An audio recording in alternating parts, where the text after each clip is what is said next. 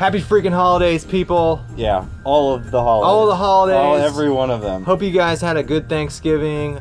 We wanted to make a 500 subscribers appreciation video, and we wanted to do our first giveaway.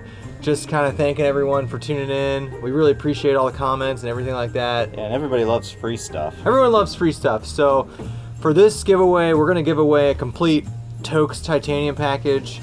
Two things.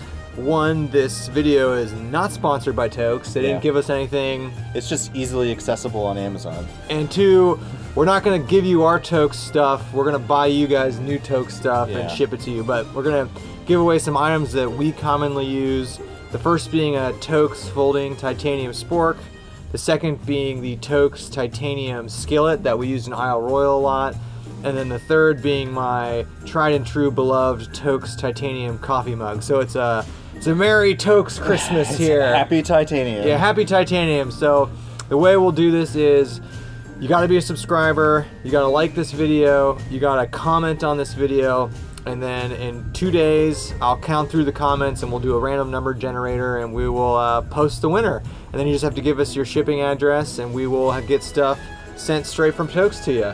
Yeah. So uh, you know, thanks for all the views. Thanks for supporting the channel. We really And, appreciate it. yeah, it's uh, it's going pretty well, and we're we're continuing to evolve and get better. So stay tuned for all the great new content that's coming in the future. Yep.